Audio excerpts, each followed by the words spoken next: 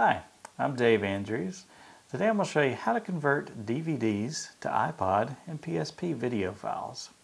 Now I should preface this with saying that uh, this shouldn't be used with the intent of copying uh, DVDs uh, such that you can have an illegal copy of it and break the copyright of the DVD.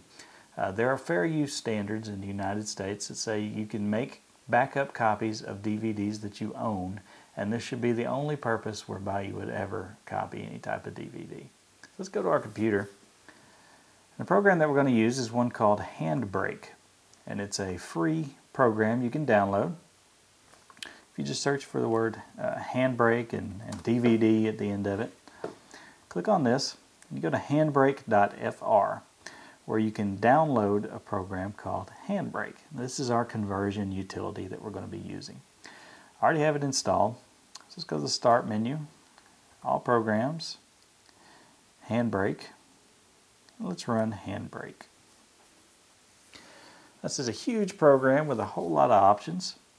Basically what's going to happen is you click the Source button after you have inserted your DVD into your DVD drive and it locates that, that there's a DVD installed on there and it tells the directory that's going to pull from which is the F drive on my computer. So I'm just going to select that. Now this is going to actually parse through the contents of the DVD. It's going to decide where the chapters are and, and other information like that. It takes quite a while. It says one minute, but it could take considerably longer than that. So I'm going to click cancel and continue on with this uh, demonstration. Now, from there, you can choose the chapters after you let it uh, determine those. You can choose the chapters that you would like to save.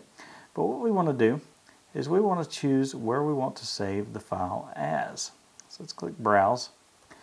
You can also ch choose the file type you're going to save it as. Go with the MP4, which is what can be loaded on an iPod. I'm just going to call this My Video. And you can also choose some presets.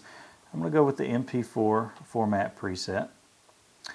Now, you have several options. You can crop the picture, you can change the size of the source and the aspect ratio after you have everything uh, filled in. And you can also choose the, whether to include the subtitles, uh, information like that off of the DVD.